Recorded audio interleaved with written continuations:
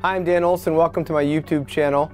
Um, at tonight's meetup, we had a really special guest, Marc Tarpenning, co-founder of Tesla, uh, who was there in the early days and shared advice uh, and stories from building the Tesla Roadster, their initial product.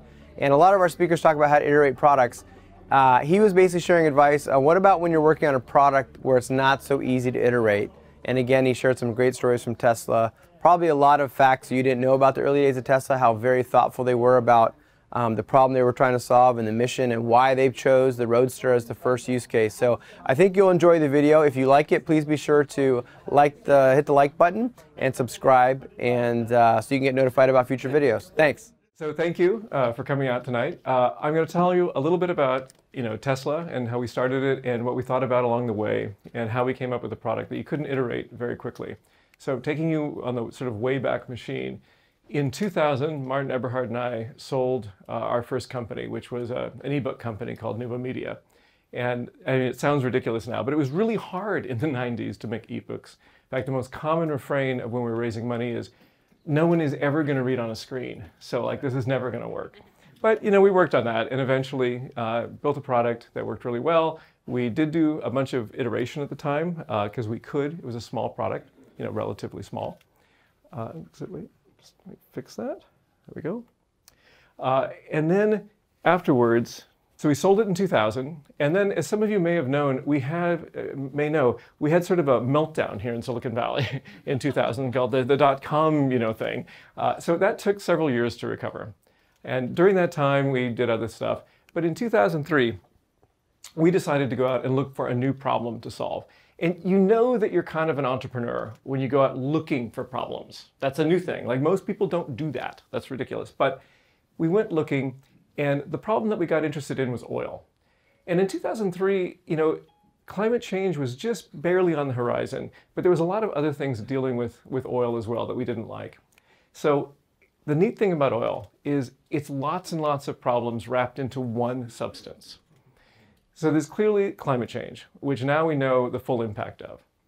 There's also uh, this idea of resource depletion at a given price point. So people, you know, there was this idea of peak oil, and that idea is actually not peak oil in an absolute sense. It's peak oil at a given price point. So, you know, there's plenty of oil at, you know, $500 a barrel, but how much is available at, you know, 20 or 30? And it depends on how much energy it takes to, to extract the oil. And there was a lot of issues around as the price gets higher, what that does to the world economy, because we were incredibly dependent on it. We're less dependent now, but we're still pretty dependent on it. That economics changes everything. You know, it, it, we send a lot of lot of money out of the country in, in the U.S. Even now, people say, "Oh, we're making, you know, we, we produce more oil than Saudi Arabia." That is true, although we consume more than, you know, way more than that. Uh, so we still import a lot of oil every day. And then the politics. I used to live in the Middle East. I lived in the Middle East for six years. The Middle Eastern politics is very complicated, and it's made more complicated by the flow of, of oil money, and both you know the flow of oil out and the money coming in. So, and anyone who doesn't think that, that oil has stuff to do with the Middle East, you know, po political situation, I think just hasn't hasn't lived there. So we really like the idea of trying to tackle something this big. We looked really carefully as to where oil was being used. And it turns out in this country, almost all the oil is used in transportation. And within transportation, it's almost all cars and, and light trucks. This was really good because when we did this research, we thought, well, you know, what, what if it turns out that it's all used in, you know, jet planes or something? Like we're not going to have electric jet planes or some, you know, solution to jet planes, but cars and trucks we thought we had a chance at. So if we had a mission statement, which I will admit we didn't actually write a mission statement that I remember, but it's basically to reduce oil consumption through personal, by, by changing personal transportation. That was, that was the goal. That was something that we, you know, again, we didn't necessarily write a mission statement, but we talked about it constantly. That was the goal. And that kind of mission-driven company really makes a difference. It makes it easier to recruit people. It makes it easier to stay motivated. There were days, you know, when things were not going well, and you think, oh, I just got to get to work because I actually am doing something that, that's important. So I don't know how many people have seen charts like this where you you come up with an idea and you sort of idea and then you, you create a minimum viable product and you go out and you test it and you get a bunch of users and sometimes you even kind of lie to them you say this is this is really what we're making but you don't really think that's what you're making and you get feedback and then you iterate, you change it. Like how many people have done that or seen that? Yeah, it's like the normal thing, right? It's a super powerful idea. It builds some really great products, but it doesn't build big products like cars. You can't iterate like that. So I was researching for this talk and I actually looked up, I just, you know, Googled, you know, minimum viable product car, just to see what would come up. And, and this slide, which is, is attributed, so I think it's okay for me to, to show this, uh, it, it, has an attribution, uh, came up. And what I love is, so the idea is a car, right? Clearly it's a car.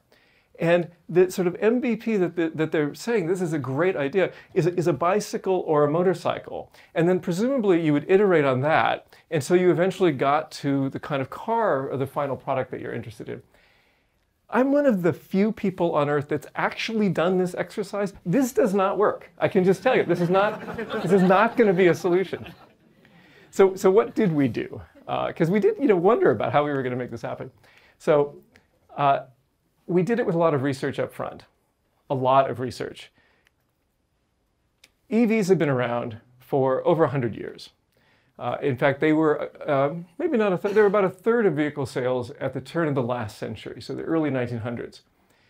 And we actually named all of our conference rooms after the failed EV country, companies of the early 1900s, as kind of a reminder that you know it seemed like a good idea at the time, but you know it didn't necessarily work. So we wanted to make sure our intuition was that a battery electric vehicle was going to be the answer, was going to be the best to reduce oil consumption. But you know, it turns out there's a lot of ways of reducing oil consumption. You know, there's you know um, various kinds of hybrids. There's uh, obviously biodiesels and, and, and ethanol and uh, hydrogen fuel cells. So we researched every single one of those fuels, you know, really quite deeply, and looked at where the energy came from, how efficient it was, what kind of resources it used, to make sure that battery electric was going to be the answer. So hydrogen fuel cells were really in in 2003.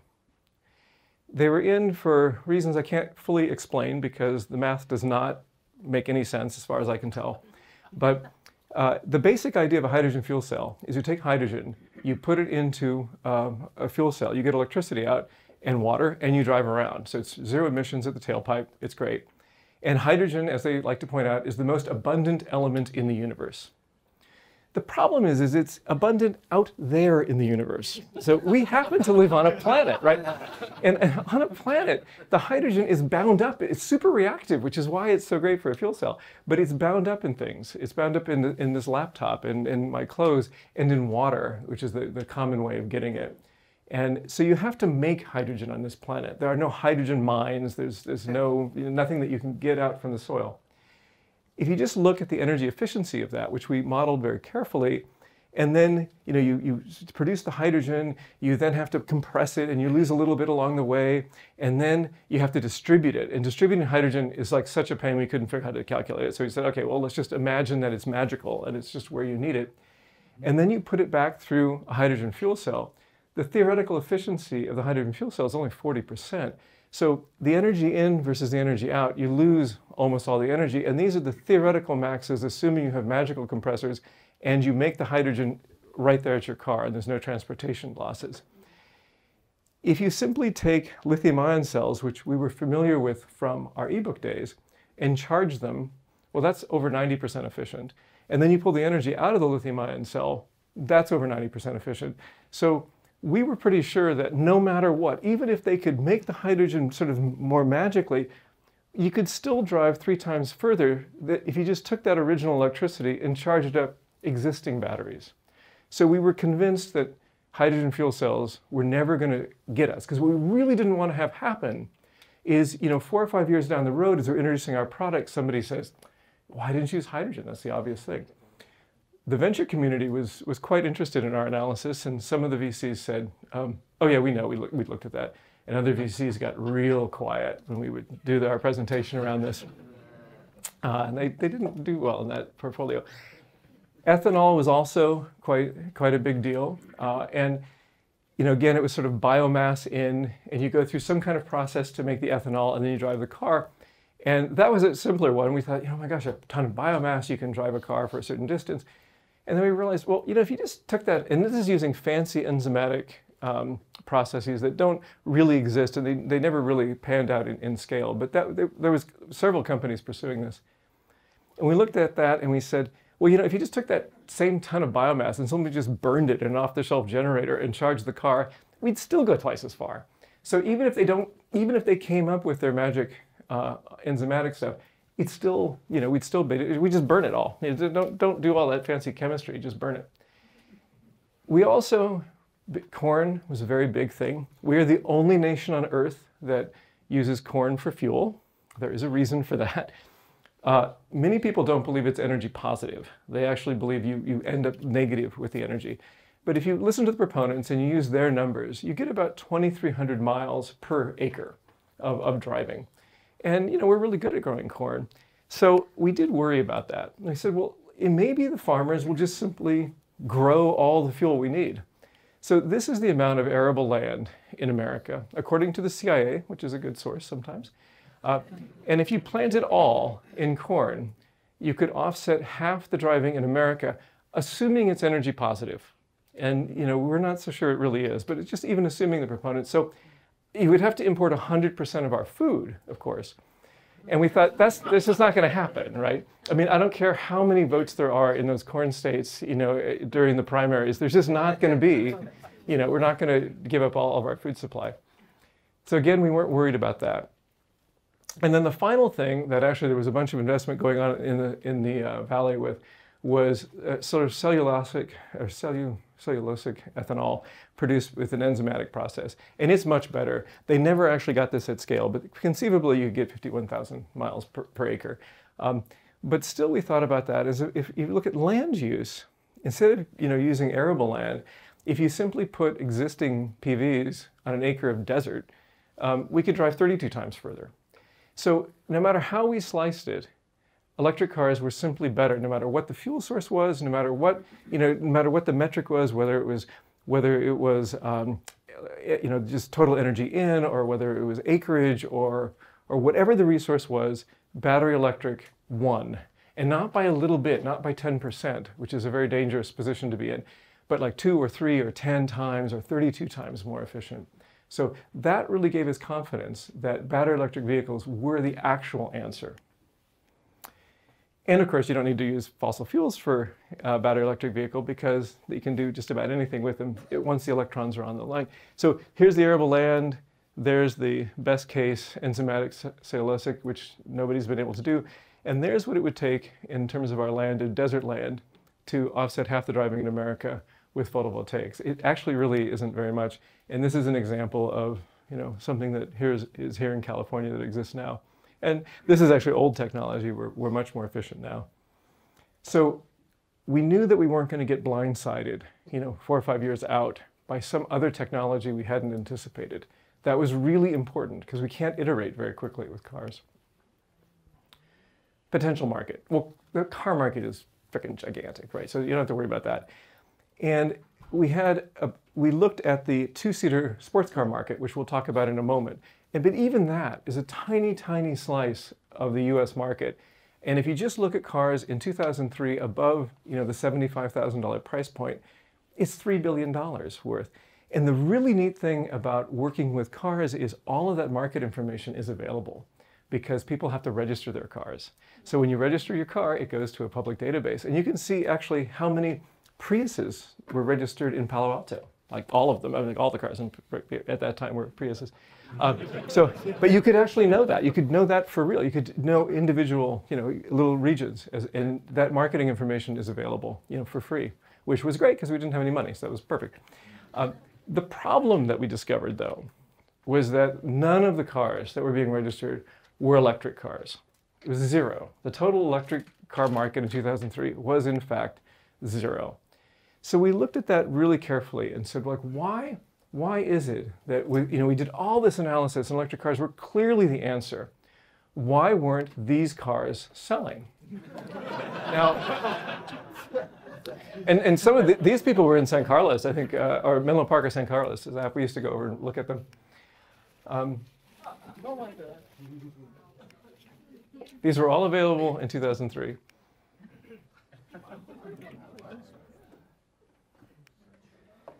Yeah, and, and everyone's favorite. So, why do you think these were not selling? Anybody? They're ugly. They're, they're ugly. Safety. They're what? Fantastic design. Fantastic. Yeah, they're, they're really lame. Like I mean, you know, you just you, you think about it. Um, Martin called these uh, punishment cars. That that they were designed by people who hated the idea of people having cars. They liked bicycles and they liked you know public transportation, but if you had a car, you had to be punished for it. And this is is what they looked like. Now there had been some other cars on the market that that had existed in California. So California passed the zero emissions mandate, which required uh, all the car companies, if you sold very many cars, which are all the major car companies in California, because we you know sell a lot of cars in California, um, you had to have some percentage of your cars be zero emission, and that really meant electric. And they had all of these cars that were out, and the car companies hated being forced to make these things. It's not what they wanted to do, so they were forced to make these things. And car companies spent a lot of time and effort not making electric cars, but lobbying in Sacramento. And it turns out that if you spend that time and effort in Sacramento, you can get the zero emissions mandate rewritten, which is what they were able to do. And in 2002, the emissions mandate gets rewritten, and every single car was off the market immediately. Like it was over. Like within a week, they were all over. And all of those cars were leased. So the leases were canceled, and those cars were actually taken back and, and gotten rid of. Um, now, now, the two that stood out, the, all the other ones were terrible, but the two that were interesting was the EV1 that General Motors did for a whole variety of interesting reasons, but they actually made a decent car and, and uh, the Toyota RAV4 uh, EV. And Toyota, even if they're forced to do something they don't want, you know, they don't do anything poorly, right? Toyota just doesn't do that. They're like, oh, our brand, you know, we'll just make it really nice. It will make it work really, really well. So their customers were incredibly devoted to their Toyota RAV4s. In fact, there's still some driving around. I see them every once in a while. And they went to Toyota and they said, you know, can we just, you know, we, we love our Toyota products. Can we keep it? And Toyota said, wow, okay, sure, you can you know, buy out the lease and you can just keep it.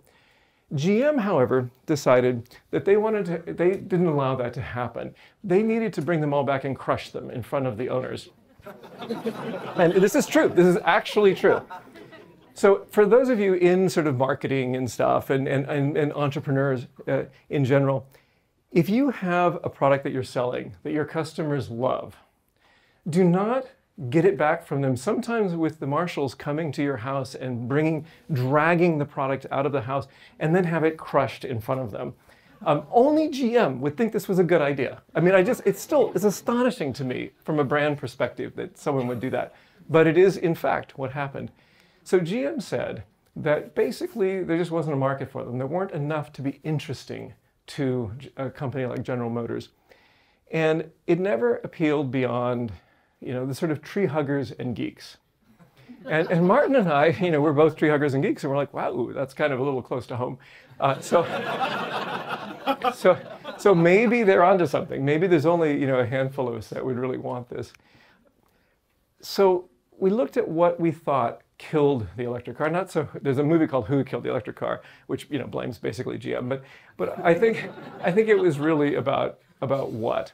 And the problem was is that you know they were low performance. They had you know terrible range, and that's really anxiety provoking. You get in the car, and you don't know if you're going to make it to your destination, and you can't really refuel very easily.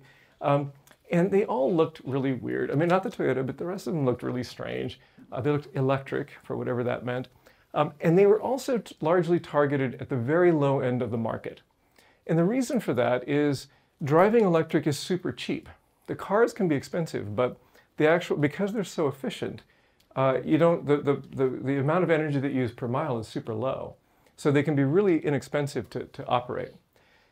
We took this all and we thought, what can we do with this? So we tried to figure out what kind of car is possible to make. And when I give this a similar presentation to uh, high school students, I tell them we did it all entirely with high school physics and spreadsheets. Um, both Martin and I are quite skilled with Excel. Uh, and Martin has actually taken it beyond skilled, like he's in a, like a totally different world. He made an assembler recently entirely in Excel. For, you know, if you're a computer science person, you're like, what? He really did. It was nuts. Uh, he's not a programmer, that's why I think he did it. But anyway, so uh, we did these spreadsheets and we made a model of what was possible. So you could sit there and fiddle with the batteries. You could look at exactly how that would affect the mass. You could say, oh, I want this much range. And you could play with all these parameters. And we came up with a bunch of really interesting things from that model. One is that you could out accelerate any internal combustion engine car on the market without any, without any trouble, really. It wasn't that hard. And the reason why is electric motors have maximum torque at zero RPM. And then that maximum torque stays completely flat at maximum for a super long period of the torque curve. Which means that when you end, when you step on the accelerator, not only do you get maximum torque, but you get it only, you know, 10 or 20 milliseconds later, Whereas in a gas-powered car, you have valves and things going on and flows and air flows and stuff, and it takes like 100 milliseconds or more for, for any torque to develop. Plus you have to do the whole clutching thing and the, in, in the transmission. Electric cars don't have to do any of that. So the, the acceleration is really, really nuts. The lithium-ion batteries that we had been experimenting with on the ebook, our second generation ebook was lithium-ion batteries. We knew, you know, those had been improving year after year after year, and we knew we could get the range up. And as long as the range was long enough, the fact that we didn't have any, um, any public charging stations didn't matter because most cars are charged at home. I mean, most, most cars live at home most of the time. And you wake up in the morning, and as long as you had enough range, you could wake up, you drive anywhere you want to drive, and then you come home, or you stop at a hotel or whatever, and you just plug it back in again, and the next morning you have a full tank. And this is something that's very different than an internal combustion engine car, where you have to always be looking for, oh, where's that gas station? You know, when you, when you park at night, then you wake up in the morning and you have that full charge. So it's also, of course, was very cheap per mile to, to operate, but we couldn't figure out how, to, how that was appealing to anybody, really, because of the car, kind of car we were having to make. And we had to make kind of an expensive car because we could not go to high volume. High volume cars require an amazing amount of capital up front. And Martin and I just aren't very good at raising money. So you like, we're not going to be able to get to, you know, we're not going to be able to raise hundreds and hundreds of millions of dollars on something that has no product match that we know of. So we had to go low volume. And the moment you go low volume, you're going to be expensive. But the car industry has models for that.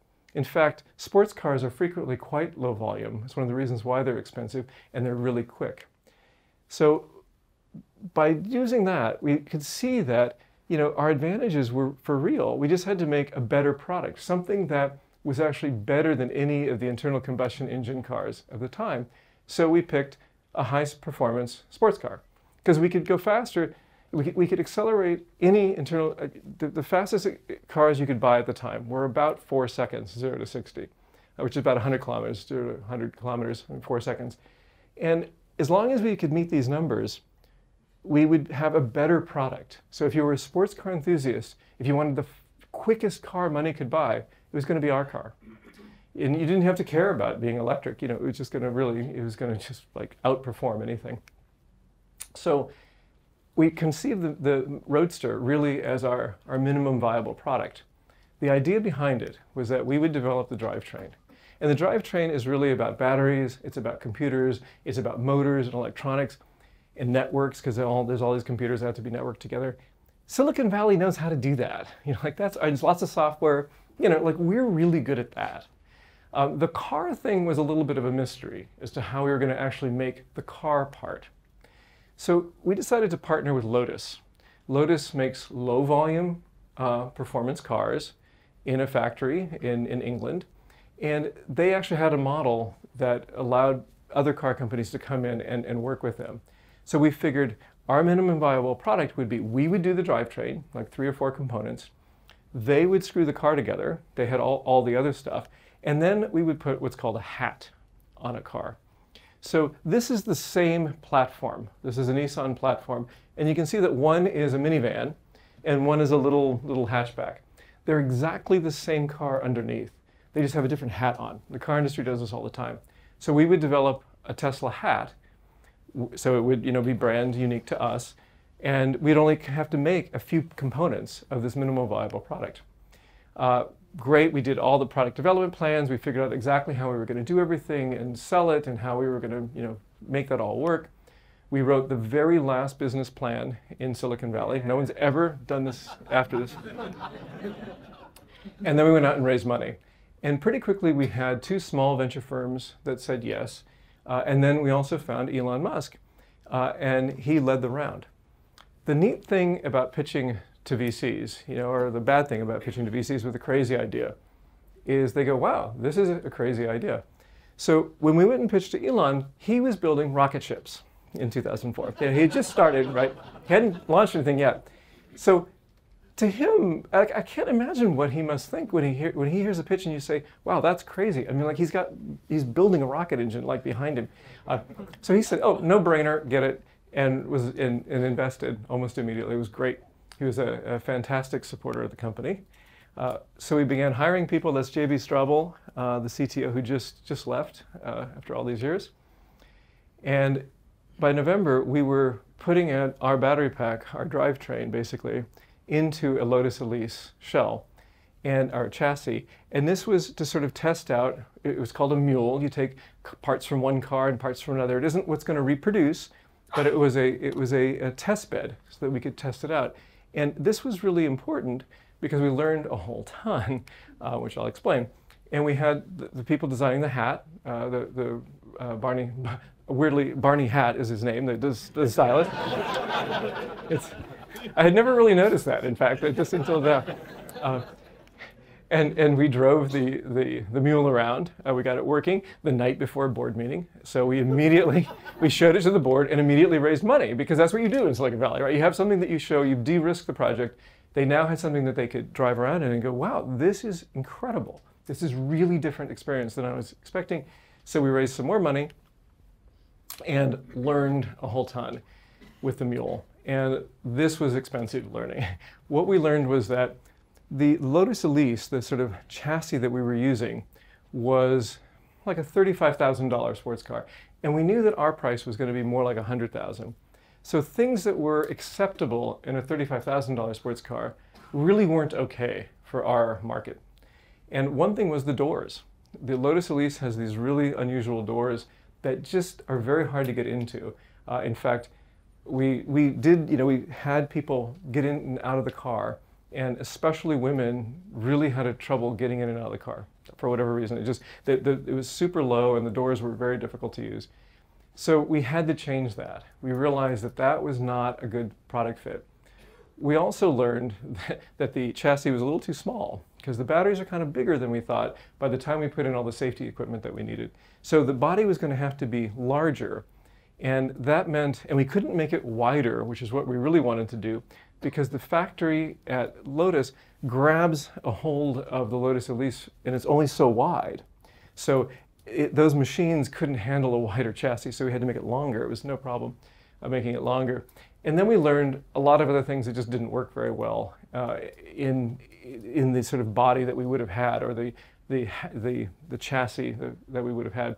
So we had to completely redesign the chassis, redesign the heating systems and the cooling systems uh, for the passengers. Uh, uh, electric cars really don't need that for the engine because it doesn't create wa waste heat, which is why you have to have special heaters because there's no waste heat for the engine. So the neat thing is it's like a hair dryer. You have it instantly, but you have to actually you know build that. The instrument panel, which we thought, the instrument cluster, which we thought was going to be fine, wasn't. So those were all big learnings on our product and that and we had you know not focus groups. We had like everyone that we we're in stealth mode right? So we had everyone that we knew you know kind of we'd drive up with our what looked like a lotus elise and we'd have people get in and out of it and try to turn it on and try to understand what the instrument cluster said and try to get any heat out of the thing or cool or whatever. And we learned a ton. And what that meant was our whole minimum viable product plan didn't work because we had to instead supply hundreds of parts to the factory and that was going to take a lot longer and a lot more money. The board was incredibly supportive of this because they also saw these shortcomings. And so we took longer, spent more money, and designed a better product. Could we have just launched with our first plan? You know, we can't do that A B test. Unfortunately, with these big devices, you can't just, oh, we'll just do 10 of these and launch and see what works. And then, you know, it doesn't work that way. So we committed. And we don't know if that was really the right decision. We think so. So this just happens to be a baby picture of it in clay. The artists work in clay to start. This is the final version in clay. It's been wrapped in a, in a mylar, and then it's digitized, and then the moment it's digitized, it's, it's in the digital domain. This is aero testing on the buck, on the, uh, which is just hogged out plastic. We had to build our own motors for a whole separate talk about motors, which we didn't expect. And in April, we said pencils down to all the engineers. We're now done. This is what we think we're going to build. And we built 10 of them. And you know, it's, it's, engineering prototypes is what that is called in the industry. And then they came off, the first ones came out of Hethel, and they were beautiful and they were gorgeous. And we were so excited, so we immediately raised money. I mean, you know, you have to. You get every time, you know. And this time we had no trouble. You know, we had lots of lots of interested people in the round. We're still in stealth, but we're just about to come out. And we had a big coming out party. Uh, Schwarzenegger showed up. He was the governor at the time, and I was worried he wasn't going to fit in the car. The car is kind of small. but he's really wide, but he's not very tall. He fit fine, uh, and he liked it. In fact, I think he bought one a little bit later. Uh, so we came out, we then tested these things like crazy. These, uh, this is, these are durability tracks where they get beaten up and they try to, they simulate 100,000 miles and 10 years of wear and tear in like three months. It just about kills the drivers. They have to rotate them constantly. Uh, and the car's flying apart. Pieces are flying off the car and failing like we have millions of failures and every failure has to be traced back to exactly what happened because the mechanical engineers swore none of this was going to happen. Um, yet, uh, this, this is uh, testing on the Arctic, uh, in a, frozen lake in Sweden above the Arctic Circle. Uh, this is all the car companies use these same test tracks and stuff. Uh, so you know, there's all these spun out Mercedes and everything else you know around us as we're going. But the only pictures that are allowed are, are of your car because they're you know it's before they can before they come out. super fun. We learned a lot there. Thousands and thousands and thousands of changes to our product. And then we said, okay, now we actually know what we're going to build. So we built 10 more. But this was really, you know, after these thousands of changes, they come off the line, uh, sort of a, you know, early line. Super, you know, I thought the other ones were gorgeous. These were really beautiful. And the doors closed and they sounded like they were real cars and tunk, you know, this was great. Um, and we could wow any investor, so we raised more money. Uh, and everybody came in and it was, it was great. Uh, and then we were, you know, started producing the, the batteries. We're getting really close to, to actually product delivery. And we had this transmission problem. And, you know, if you actually look in the press, you can read about our disasters of the transmission and all the things that went wrong. And this is about the time when Martin, my, my co-founder, who had been CEO this whole time, he gets ousted in sort of a, um, you know, not particularly nice way. But anyway, it's, it's all in the press and you can read that. But it was effectively around this disaster around a transmission that you know, we had outsourced. We just, it was not part of our, you know, it was not something that we thought was going to be a problem. And it turned out to be a real problem. Michael Marks came in. He was the uh, CEO for Flextronics for many years, a giant contract manufacturing house. He was super, unfortunately, he was just about to start something of his own. He said, I can only do this for, you know, a few months or whatever. But he was great. Uh, and I, uh, you know, it was, it was really a pleasure to work with him. Super operationally uh, put together. And in September, we had our first sort of track official measurements. And you know, we were under four seconds, so we were just about the fastest sports car money could buy, which was what we had predicted from Excel spreadsheets. which is pretty, I mean, math is incredible, right? I mean, you can sit there with a spreadsheet and go, "Ooh, this is what's going to work." And then, you know, five years later on a track, you're like, "Oh my gosh, it looks, it's just like, you know, the high school physics said." So in October, we figure out how we're going to redesign the thing uh, International Rectifier had come out with new transistors, which were more efficient. We could get rid of the transmission and get the product out. Uh, we got a new CEO, a permanent CEO, because Michael had to leave uh, when he was starting his gig. Uh, Zeev Drori, who was not a particularly good fit for the company, but you know he seemed to be okay at the time. And so he takes over from Michael. And by January, we pass all those, a ton of regulatory stuff. And so we pass all of that. So this is a big deal. Now we can actually sell them if we could only make them go, because we still have this transmission problem we're still fighting. So we had to unfortunately raise a bridge round because we were planning on shipping product then, and we couldn't. But that was, you know, okay. And by June, we actually were de delivering cars. And the most important thing about this is not only did we not lose essentially any customers, even though we were like two years late, and they had paid up front, and they were incredibly loyal and we had all kinds of events and that's a separate talk about how to how to do that with these products that are a little bit late and keep the, the community engaged. But they were really happy in the end. And this was important. We delighted the customers when they got it. And i think back to all those changes that we made that cost us so much time and so much money and that iteration that we did. And i have to believe that it wouldn't they wouldn't be so happy. I mean, and that would have killed the company if it hadn't been. October, uh, the board loses. I don't know what happened with Zeev. I wasn't, you know, involved, but anyway, so Zeev gets ousted, and Elon takes over, which was a great deal because he had always been incredibly supportive. He had put a huge amount of his own money into the company uh, in ways that were, you know, financially quite risky. I mean, you know, Tesla has never been like a financial secure investment.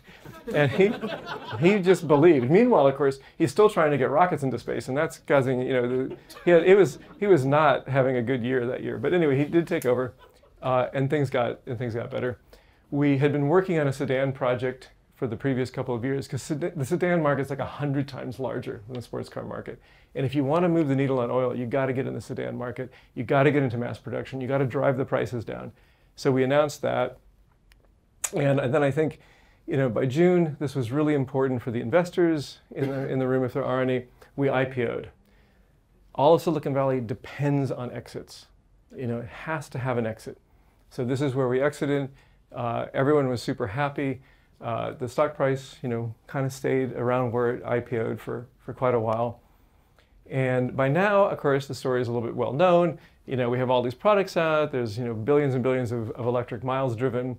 Uh, there's, you know, the Model S is, uh, is great. And there was some, you know, great moments in getting there, which is a whole, you know, separate talk. But, but anyway, Tesla's done super well, and I'm really happy with that. So I want to talk a little bit about what's next in that the sustainability thing, um, people say, oh, you know, sustainability, it's kind of a, uh, it's one of those nice to haves. It's, it's, you know, a bunch of, you know, hippies talk about it and stuff, but I don't really have to worry about it. So there's a great quote by Herbert Stein, and he says, if something cannot go on forever, it will stop. And he's an economist, or was, I think, he's, I think he has passed away now. But this is a really important idea, that when you have, you know, when you have products or companies or industries that aren't sustainable, what that's saying is it will stop. I mean, by definition, it will stop. And the question is, like what will that do to everybody when it stops? And what will it do to the company? What will it do to the uh, you know to the, to the to the planet when that all comes crashing to it to a stop? That's really important to know. And it may be that whatever you're working on is not a problem. It can go on for 100 years 200 years it doesn't matter. Or it might be 30 years and you kind of want to know about that especially you know investors kind of want to know. So in ending, I just want to say disrupting you know old industries is really fun. Um, it, uh, it's fun and profitable, huge opportunities for cool solutions. I'm not a big believer in like going back to the earth and goats and stuff. I really like, um, I, you know, I like rocket ships and, and cool stuff. And everything is going to change. Like it's going to renewability and sustainability, like that is going to be the future. You know, 50 years from now, it's going to be insane when you look back and we weren't there. It just people will go, how could you possibly have not been thinking about this?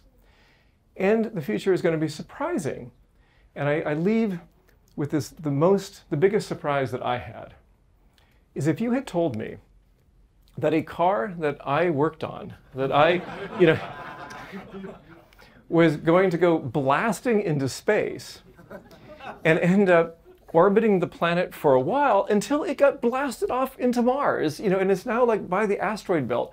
I would have said that is completely insane. There is no, and yet that is exactly what happened to me. And it's for real. Like you can go and you can track it. There's actually Star Starman Tracker, which shows you where in the asteroid belt it happens to be at the moment. It's completely insane.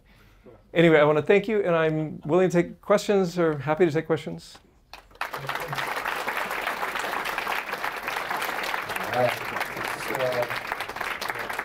Leave that up there. Questions if you want. Yeah, and actually, I just read like it was like two or three days ago. He just finishes the first uh, revolution around the sun, apparently. So. That's so great. Yeah, it, yeah. the warranty on that one is. All right, cool. So the way questions work, you have to have a microphone. So raise your hand, and we have two mic runners here. We'll get you microphones. All right, here we go. If you don't have a mic, just wait for a mic, okay? Uh, on sustainability, what about the batteries that eventually run out? What's the plan for all that? Right, yeah. How, how do you recycle the batteries? Um, so lithium ion batteries actually are quite recyclable. Uh, they're, the metal around them is recyclable, lithium itself is recyclable, uh, and then there's a vanishingly small amount of cobalt in them. And the cobalt is super valuable. And it's sort of the thing that drives the cost of the recycling or drives the, the uh, performance of the recycling, a little bit like aluminum does in the, your normal recycling thing, in that it's the thing that makes the money.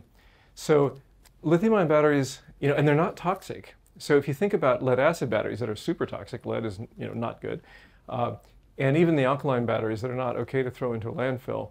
Uh, actually, lithium ion batteries are the only batteries you can throw into a landfill because they actually are, aren't even toxic. But you would never do that because they have recycling value. So you, you, one can do it.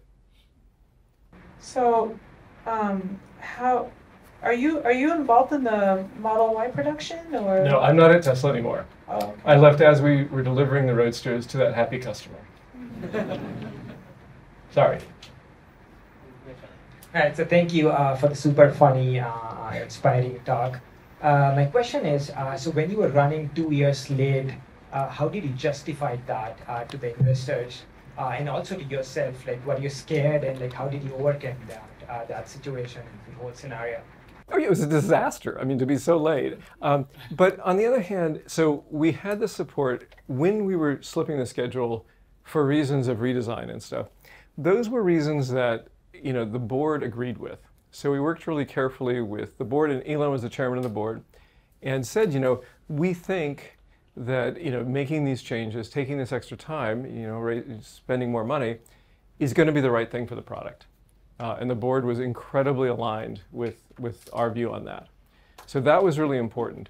What was more astonishing to me is that we kept almost all of our customers. In fact, I think the only customers we lost along that whole time, there was a, a person who suddenly had twins. and he's like, this is really not going to work. My wife says this is really not going to work. Uh, but but uh, other than that, uh, we really didn't have uh, a a problem with it. And it was because of something we, that, that a, a consultant had, had brought in called managed transparency. And so as we had setbacks, we didn't hide them. We, you know, we explained them. We had a blog, you know, for the owners, it was the owners only, the people who had purchased the car, you know, in advance. And, you know, every week or so, we would show what was going on in the company. And, you know, we didn't show every little detail and every little disaster, obviously, but but along the way, the, the big things, you know, we said, oh, shoot, look at, you know, we're having really trouble with cold weather, you know, or whatever it was. And we would explain what we did and how we tested it. And people actually really appreciated that. They came along with the for the journey with us and they understood all the testing we were doing. This was not some, you know, we're just throwing a product out. You know, like they're, they're never going to drive on an ice lake in, you know, Sweden, but they know they could now, right? Because we've been working on that. Uh, and we, you know, would explain these setbacks in time. So, and we had parties. We, we threw parties for the various uh, customers. Uh, fortunately, there were you know, um, roadster, you know, sports cars are largely sold in like L.A. and Miami and, and here and stuff. So we could, we could, with a few geographic parties, we could we could um, have meetups basically, and and talk to our customers. It was, uh, uh, they were incredibly supportive the whole time. Were you ever under the risk of getting bought over by another car company or under pressure like why aren't we delivering something like those guys Oh no, the, the, the other car companies thought we were insane. Like there was never, in fact, one of the, one of the things that we would frequently talk about, you know, the board would talk about, uh, was, you know, when the Roadster comes out, and the car companies really understand what's possible with electric cars, and we were going to be years away from getting the sedan out, which we naively thought would be, you know, like an additional three or four years. I can't remember what we, what our original projection was. There was going to be this time when we, as a little company, would be trying to scale up and trying to understand how to do that, where the big guys would, you know, they could they could devote a billion dollars and just make it happen. So we were very very concerned about getting crushed in that period between the Roadster and the Model S. No, at no time did any of the board discussions say, you know, what if they didn't do anything until like five years later, when after the Model S gets released, and they still didn't do anything for another like four or five years. and and you know, and it's only when the Model S became the top-selling sedan in luxury sedan in Germany that they really began to panic. What if we had like that 10-year runway? I mean, you know, so that was never a discussion that we had at the board level, at least that I was aware of. So no, they, they, we were not. It, as it turned, we were worried about it, but nobody ever did. Um, curious to learn more about the user testing you did, and did you um, like what sample sizes were good enough for you, and how did you involve the customers in sort of the testing and development process? Oh, that's a good question. So after we were out of stealth, stealth mode, so a lot of the testing we did was with the with the um, with the mule, and we had some what are called bucks. They're sort of mock-ups of cockpit and stuff, and we would bring in literally friends and family. Um, you know, by that time we had you know 100 employees, so they had a lot of friends and stuff. Um, what one of the funniest ones was uh, we had these you know prototypes, these mules that would be around, and we're in San Carlos, and uh, I I look I look out and there's police cars, you know, like all over the back of the, of the place, you know, where the cars are. I'm like, oh no, like what did somebody do? So I go out to go to talk to the police, and it turned out that one of our employees, his high school buddy, is a policeman, and so all these policemen came to look at the car because they'd seen him around, and I was like so relieved. I thought, oh, I thought we were going to be shut down for sure. I mean, we weren't doing anything illegal, but you know, they would drive spirit, spiritedly sometimes. That's what I was worried about. Uh, but so we had, we even got feedback from the cops. You know, they, they said, oh, this is really neat. Uh, we didn't do anything. We so there's a couple of iterations of that. So we had the friends and family uh, part, obviously, and then as we had the engineering prototypes, so we had the things that we really thought this is what we're going to make. In the car industry, there's an entire uh, sort of ride and handling uh, protocol that's done. So every time we'd make a change to the car, they would there would be a, a, a, test examiner. It was a little bit like getting your driving test, you know, and they would sit in the passenger side, and then they would tell you what to do, and they would say, you know, uh, come to a complete stop, you know, accelerate here or whatever. And sometimes we do it on a closed track. Sometimes if it was meant to be, if the tests were meant to be on, you know, roads, we, you know, we do that and we, you know, be, you know, be careful of the speed limits. But, uh, and then they would ask us, how did that feel? You know, was that, you know, and they would, they, and we also had accelerometers and stuff, which would tell them if it was jerky or not jerky and stuff. So there is this sort of standardized protocol for getting uh, feedback from from prototype cars. So we would do that, but that was only after we had actual engineering samples that we could we could play with.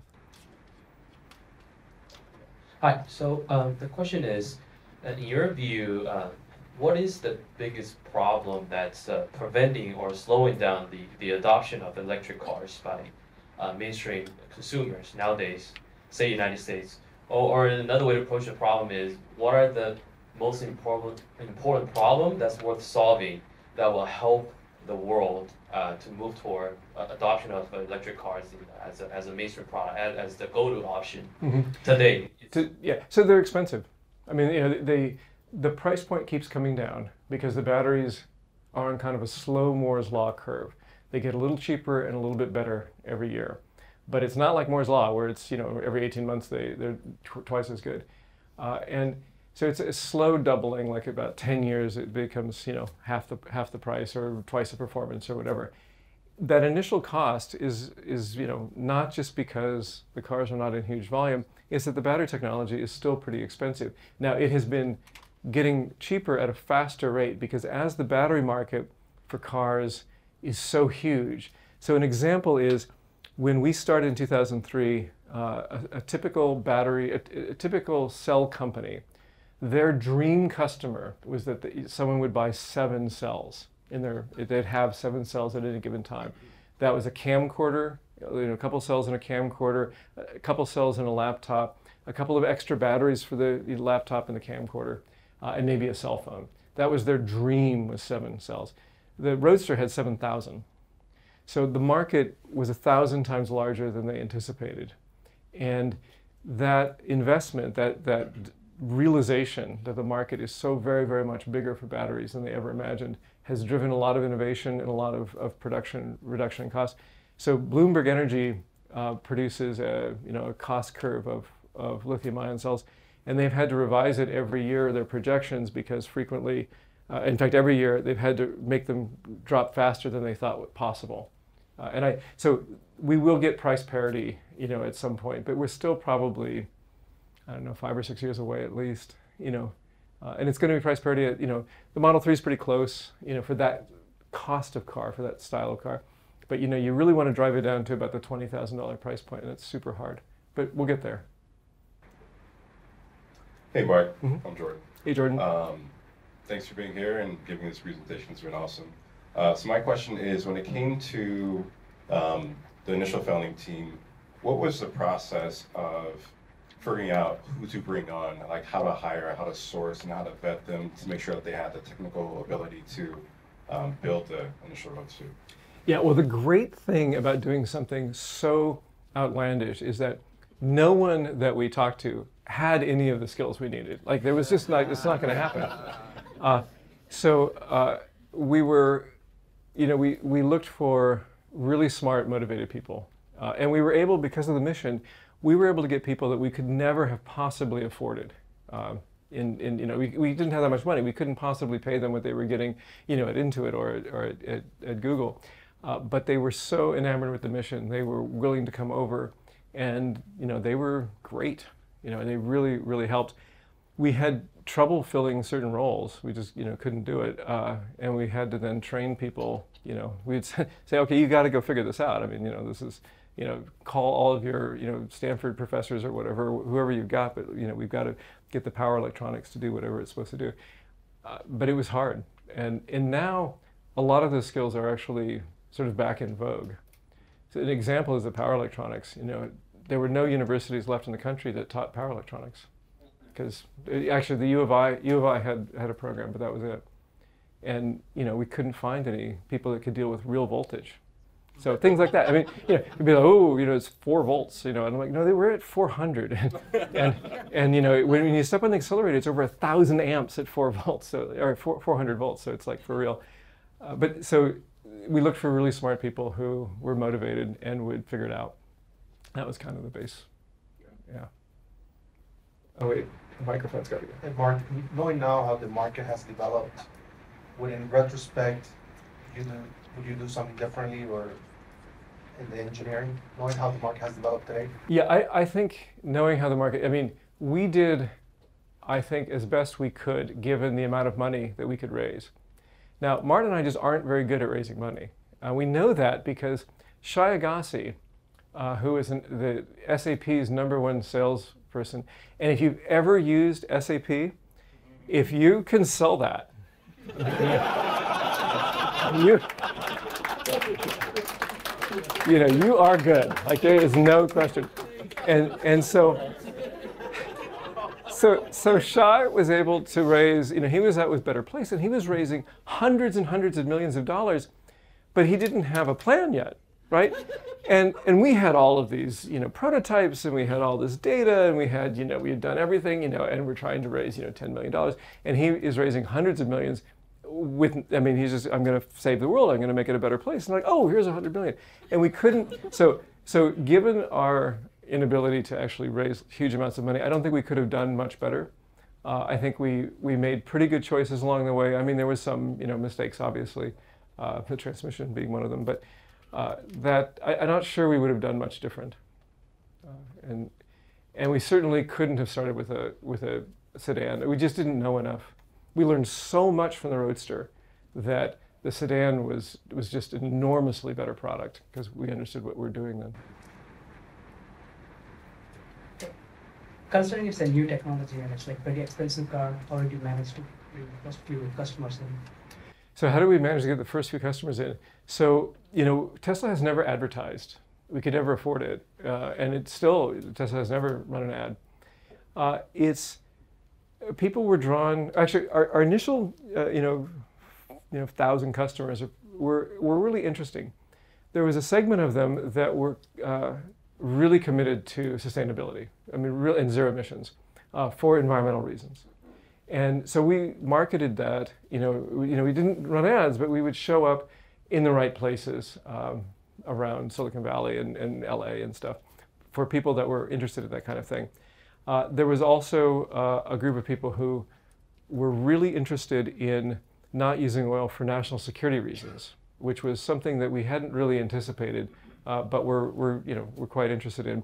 And those people um, really didn't care at all about, you know, the, the environmental aspects of it. They were really just concerned about the geopolitical aspects of buying oil. So that was, you know, an interesting community, largely driven by, you know, like the CIA and the intelligence community. So we had some really interesting initial customers.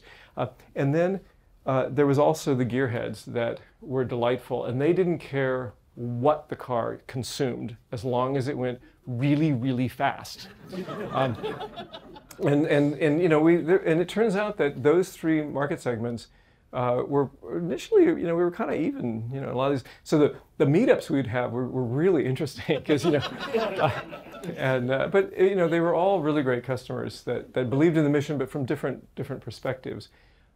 We were able to, you know, we had these little soirees. We would uh, reach out to uh, car enthusiast groups and EV enthusiast groups. There were this whole home-built EV, you know, community out there, and you know, people would place orders. Uh, it was uh, crazy, and we actually originally didn't have that in the business plan where they would pay in advance. That was something we kind of, you know, learned that people were willing to do. They were so into it. They would write these very large checks and just hand us a check and say, "I believe so much in what you're doing. I, you know, if this can help not have you go out of business, I want to do that." And that's the, you know, like you don't get better customers than that. They were awesome. Uh, hi, Marc. Thank you for the presentation. Um, curious, besides the Lotus Roadster option, did you have like Plan B? Plan- oh, absolutely. See other options they didn't come through. Yeah, so we had we had scanned around the world looking for uh, companies that could build in sort of low volume because low volume production is a, is a different beast than the high volume production, and and and also that could have a that had some mechanism for dealing with making somebody else's car. So, you know, Toyota isn't going to make somebody else's car. But Lotus, they made the Opel Speedster for GM. They made, uh, they, had, they had done this several times before. They had a group that did that. But so did Noble in South Africa, which has, there's a big car industry in South Africa. And there was another one uh, in Britain that we looked at that, that had, had done this for other car companies for, for their sort of niche products that, you know, the big guys weren't, like GM wasn't going to spin up a line for some low volume sports car. So they just had Lotus do it for them, for example. So we had several options, but Lotus was our number one, uh, our, our pick. It seemed like the best match of what we were looking for. But we did have plan B and C. Hi, Marc. Uh, speaking of developing hard to iterate products, uh, other than raise money whenever you have a success to sell, uh, what are the top two or three lessons you could share with us that could be broadly applicable to developing super super hard to iterate and super expensive products? Yeah, I mean, I really do think you have to do a tremendous amount of homework to make sure that where your initial product is going to be um, is going to be pretty close to what what they want. I mean, you know, you, if we had suddenly pivoted and say, you know, we're going to do Tesla branded toasters or something, that really wouldn't have worked with the investors, right? You got to actually really, really, you know, have, have researched it. Um, I think that getting something for the for customers to play with, you know, we we did have um, and the car industry does this all the time. They have these these these interior bucks where it's just the interior of the car. and It's actually just plywood everywhere else. You know, just and, and we thought, oh, this looks so funny. And then then one of the people that we had hired from um, you know one of the giant car companies goes, oh yeah, we always use two by fours. We didn't use the plywood. You know, like that was completely normal. But the inside, you know, we would play with that and we would have people look at that. And you just want to iterate the little pieces that you can do when you can do it. And even if it looks a little bit goofy, I mean, you know, we'd bring people in and they would go, whoa, and then they'd get into it and they'd go, oh, this is kind of like a car. I get it now. So we would do stuff like that to, to, to iterate on the small scale. The, the problem is these long development cycles, you just can't do much. Oh, the other thing that we did, which the car industry hated, so we actually couldn't use suppliers for this in a normal sense, is that they like everything specced out years in advance. Uh, and that's just, you know, we can't do that in Silicon Valley. So an, an, example is the, the body controller, which is a thing in your car that makes the you know the windshield wipers go up and down, and the and the door and the and the windows go up and down, and the and they need that specked out. They make them really well. They make them really cheap. They're really durable, and you have to have everything exactly specified. All of the behaviors completely completely dialed in. If you're willing to pay for an accelerated program, it takes about two and a half years to make that it's just a little tiny computer on a, on a board with a bunch of power transistors on it, really, uh, and some redundancy to make sure uh, you know you don't turn the headlights off accidentally. And you know that was an example of something that that we couldn't do that. We couldn't spec that out because we wanted to be able to change the behaviors and to delight the customer in ways we hadn't anticipated. So we designed everything, you know, we did that ourselves. And you know, again, that's something Silicon Valley does really well. It only took us a few months to get a body controller built. And that allowed us to be changing stuff all the time, including in production. Uh, and that is still the case that we change, you know, Tesla changes stuff during the production cycle in a way that no other car company does. So normal car companies really don't introduce something except at the model year changes. And Tesla, the moment they get something that they think is better, they just they put it in. Um, it causes an enormous amount of regulatory sort of uh, record keeping, but it's worth it because then you can iterate. And like my Tesla, one of the very first Model S's, is way better than when I bought it. It's the only car that I've ever owned that has steadily gotten better because the software, I have all these new features, I can control it with my phone, I can do all these crazy things that when I bought the car I couldn't do it because everything was in software. So that's, that's the best I can think of. Hi, Marc. Thanks for presentation. Uh, in terms of regulations, how did you deal with them? Like, did you design them into your product requirements doc? And then did you treat them differently between the validation prototypes and earlier prototypes? Well, the regulations are, you know, only affect uh, the things you're going to sell. The final, uh, you know, the, the, it's called FMVSS, uh, Federal Vehicle Motor Safety Standards or whatever. And there's a, an enormous book of those as to uh, what you have that includes all the crash tests and everything. So from the very beginning, you know, we designed for that in mind, and we actually hired people that knew how to, to do that. You know, that, that, that knew how to do the failure analysis required to, to be safe. Um, and we were, you know, there's those requirements, but that really isn't good enough. You really got to go a lot further than, than the actual um, FMVSS. Uh, so we hired industry people that knew how to do it and they you know drove some of the engineers crazy but you know it was completely the right thing it was not an option Hey Marty, yeah. so my question is sort of you touched on that kind of earlier, but um, disrupting a whole industry meaning that there's some people that have been doing these things for like a long time, right? Mm -hmm. So at what point did you guys even try to bring anyone from the old industry, like from the OEM, and how did you make the determination? Right. So there were certain things that uh, we discovered we were completely incompatible with. So for example, that body controller, we couldn't engage the car industry in that way. We couldn't use those suppliers because they were not, they didn't operate in the same speed that we needed. Uh, however, there were people who, you know, design bodies, for example, and that's, you know, we're not, that, that we want one of those, one of those people that knows how to do that. There's a, an entire industry or entire ecosystem of of the mechanical engineers around cars that come onto projects and do a lot of the mechanical work and a lot of the and the crash validation work and stuff to make sure that when the car is hit. So it's like modern cars, you know, they're much much safer than they used to be, and part of it is that they're modeled really intensely. So it isn't that you do a crash test and you, you pass or you don't. What they do is they model like lots of possible crashes and lots of possible manufacturing variances and make sure that all of them are safe. And then you actually crash the real cars. Uh, they're heavily instrumented, and all it's doing is making sure that the computer model matches. Uh, so you, you end up with, you know, much, you, they crash it thousands of times in simulation. Uh, so those kinds of people, that kind of expertise, you know, we hired because there was no way we were going to add any value to that, and, and they knew what to do. And then a lot of things in the car industry are around internal combustion engines. So, you know, that was not something that was interesting to us. And the funny part about the big guys um, is they largely only have kept the final assembly and the internal combustion engine design and, and, and manufacture. Everything else is out, outsourced.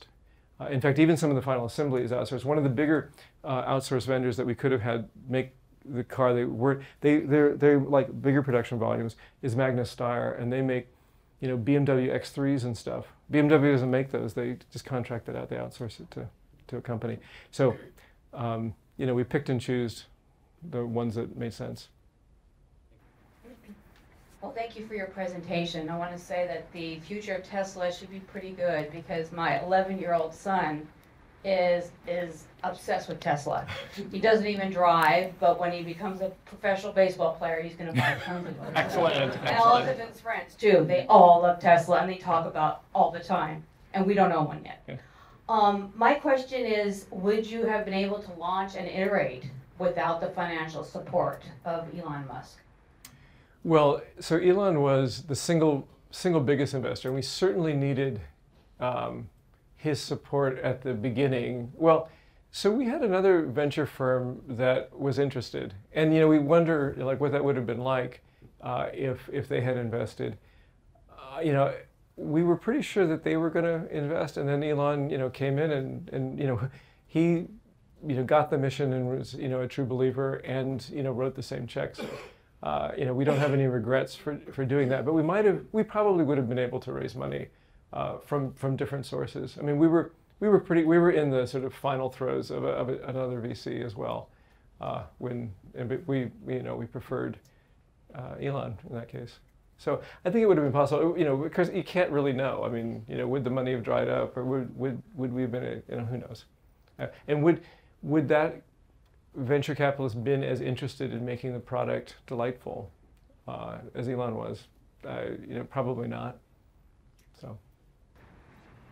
Hi Marc, thank you for your amazing presentation again. So my question is, um, so EV definitely is a disruptive technology and is really bringing a lot of changes in the industry. How do you feel about the other key feature of a Tesla, namely auto driving? Yeah, the self-driving aspect. Yeah. So that is something that I, you know, I'm not that familiar with actually. In my in my Model S, you know, mine is really really early. It's like one of the very first. So I don't have any of that. So I can't, uh, you know, I haven't even really experienced it. As a software person, though, you know, self-driving is really quite a difficult trick to master. And I think that we're going to get there. I think Tesla will get there. I think all these other companies will get there. I think it's going to be much more limited uh, for, I just don't see jumping in the car and saying, take me to New York, and it, it does that. I can easily imagine it, um, and I think this might be more useful as you pull up to a parking garage and you go say, go park yourself, and you, you leave. I think that's quite doable. And that's the kind, so I, I don't know when and where it's going to be enormously disruptive, and that's why everybody's so interested in it. Um, and it does enable all kinds of really fun business models and stuff. So I'm actually optimistic, but we're not as close as I had hoped. Um, but when Google demoed it, you know, 10 years ago or whatever, it was astonishing because nobody thought we were remotely that close 10 years ago. Hi, Marc. Yeah. Um, my name's Ahmed. I just uh, moved to the Bay Area from Michigan, worked there for 5 mm-hmm. years at General Motors. Oh, fantastic. Uh, so here with a couple other people from General Motors. Um, so many times we would, and funny enough, we a couple of us also worked in the innovation team at General Motors, and we kept saying, we got to act more like Tesla. We got to be more user centered. So that's a lot of stuff that we did. So it's really surreal being here, like hearing you talk about this. So, um, so I was wondering if you could just share maybe a story or two of when you spoke with somebody from a GM and they told you you were crazy, and you kind of what your response was because I got a lot of we're crazy. Yeah. Well, okay, two quick, very quick stories come to mind. First off, have you met Bob Lutz when you were at GM? No. He, he, Bob Lutz is like this famous, you know, curmudgeonly old guy um, who, uh, who we talked to a couple of times, and he was great. Uh, and he actually, he said that the reason why they built the, the, the Volt and then later the Bolt was uh, because of Tesla. And he, uh, he told us that privately, and then and then actually told it to the auto press at the Detroit Auto Show in front of you know 100 reporters. And then GM, of course, immediately issued a press release saying that Bob had misspoke, that that that uh, uh, you know that that you know, that had always been the plan to make you know plug-in hybrids and, and, and electric cars, and that you know he he had just misspoken. And then he issued his own press release. uh, so he was he was great. Uh, the, the, so that was a, that was a that was a funny interaction. Um, and we, we had a couple of trips to GM that were for, for fascinating. Uh, and then the other thing that was an interesting thing about just the car industry in general was that frozen lake that, that I showed. Uh, that is a, you know, it's one of these famous test tracks that people use. And so I had sent the team there, our, you know, engine, our, our motor control people and the people interacting with the traction control and everything. And they would you know get their slot and, and you drive the car and you're a professional driver and they would you know spin out or whatever and and you know we had it heavily instrumented and it's all done in software. So you know they would you know get back into the little warming hut thing. Meanwhile you know mercedes is going next and then volvo and stuff and they all have these, these slots because the lake is only frozen for a certain number of months so it's, it's quite uh, busy. And our guys would sit there and beaver away on, you know, looking at the data and figure out what happened and go click, click, click, click, and they would burn in some new, some new stuff, and then they would go and, and try it. And by the end of a couple of days, um, it was traction control and everything was perfect. So mission accomplished. They got back on the plane, flew back. Everyone's happy. We get an immediate halt of the program from Lotus, and the reason why was because you shouldn't be able to do that that should have taken months because you, you know, you had to go back to Stuttgart or whatever and, and work with the vendors and, and adjust knobs or whatever it is that they did in other cars. And it was supposed to take months and months and months. And we declared victory in you know, a few days. So we had to have been doing something fraudulently, basically. So it, you know, it took us about 10 days to kind of unstick the program uh, that it was red lighted because we convinced them that actually, you know, when you do everything in software and it's all, you know, under control and you under and you're the vendor, you understand what you're doing, it's just not that hard of a problem.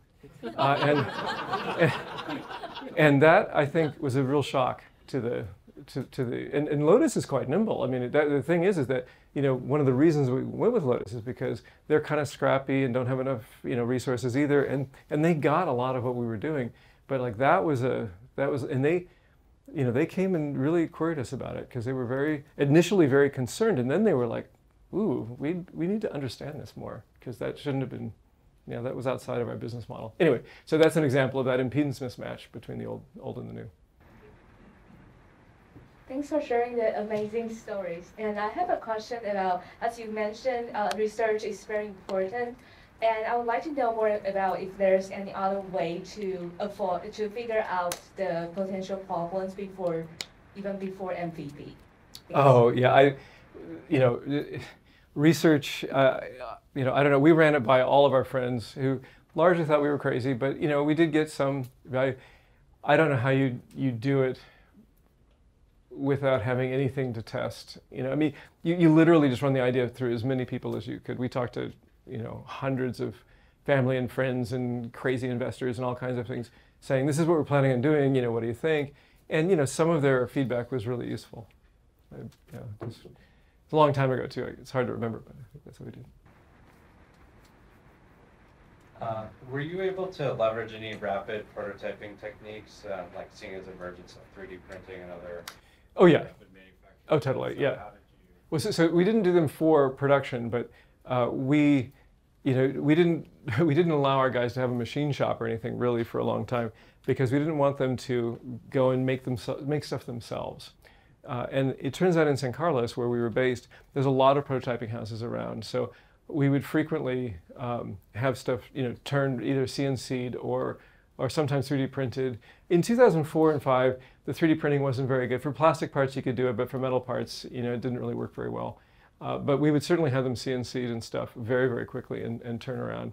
You know, sometimes within an hour or two, you know, we would you know, run over and grab some new parts that, that you know, design. So, you know, we did uh, as much of that as we possibly could.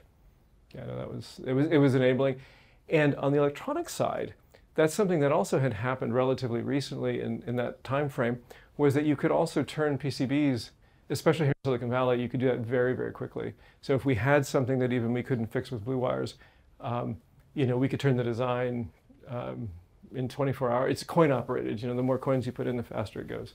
So you know, we could we could turn that. I think just we have time for maybe one more question. Sure. Is that? I have one question. Uh, thank you for the uh, presentation. Uh, my question is, how do you deal with um, setbacks uh, when, when you know um, with investors, with uh, customers, or even uh, employee when you know something bad happened. Uh, I mean, this is oh, common for startup. Yeah, we had lots of lots of those.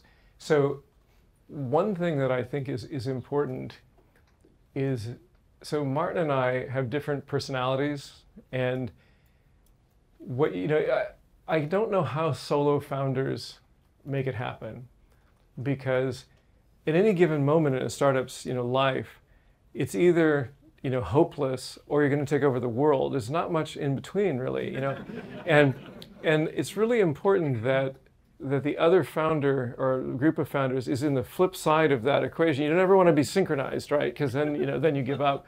Uh, and so as a solo, if I was a solo founder, you know, it wouldn't have been possible because I would have just given up. It's you know like oh, this is another disaster, and like you know I can't. It, but but because we were never in sync that way, uh, it worked. And you have an exec staff that's you know really committed and and and gets through those. The the other thing is that as you have setbacks, um, I learned this from from a, my boss that I, I worked with uh, right out of college and he was a turnaround artist. That's what he, you know, he, that's what the company employed him for was to save disaster, you know, projects that were, you know, had literally caught fire sometimes.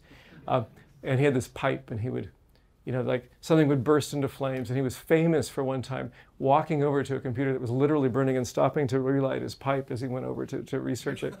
Uh, but that approach of kind of stepping, taking a step back, and oh, never panicking, and always going, okay, so that didn't work very well, or you know that vendor just collapsed, or you know that supply chain thing that we were so dependent on isn't going to work for us, and not and not panicking and not making rash decisions and sort of sleeping on it and take because almost nothing requires action immediately, and I think taking that moment to kind of consider all your options and getting input from everybody else to see how we're going to solve this, and that sort of helps us I think as well because then the teams didn't feel like, oh, this was a disaster. They'd be like, okay, now we have to figure out how we're going to solve this. You know, some of it is just attitude, and, and some of it is just making sure that you're not synchronized with the, you know, we're doomed uh, meme. So, anyway, thank you very much.